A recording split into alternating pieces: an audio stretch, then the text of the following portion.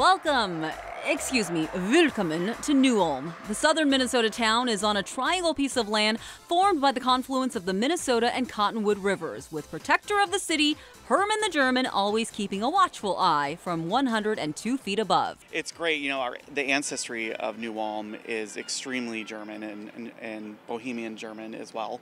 Uh, and so we've really kept on to that, that German heritage and that German tradition. Just look at the architecture found in the city, especially downtown, where there are tons of German inspired buildings and shops.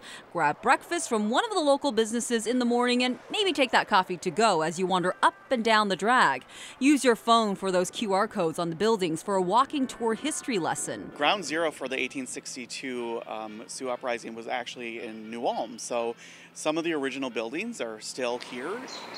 If you like nature, lots of it here, including Flandrau State Park. It's right in the city, and the Cottonwood River actually runs through the state park, which makes for great hiking trails and in the winter, great cross-country skiing. It's named after Charles Flandrau, credited with the state's nickname, the Gopher State. The city boasts it has more parks per capita than most cities, and here's a popular one to check out German Park.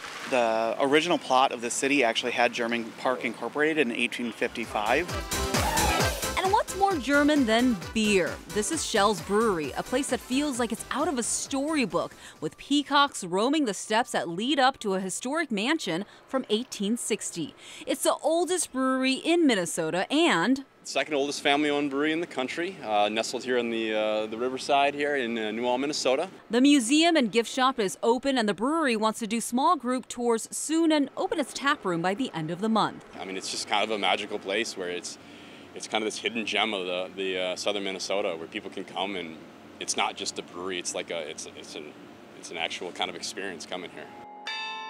If you have some time in your day, well, come check out this. It's the Glockenspiel, and the performances, just like this one, happen a couple times a day.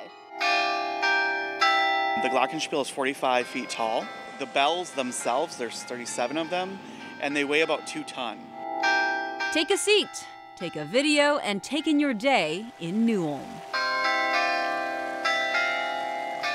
I had a lot of fun. Yeah, so we've got the whole list of 11 things to do and see on kare11.com, including the oldest bar yeah, in Minnesota. Peacocks hanging around the brewery. Yeah, yeah it's kind of interesting.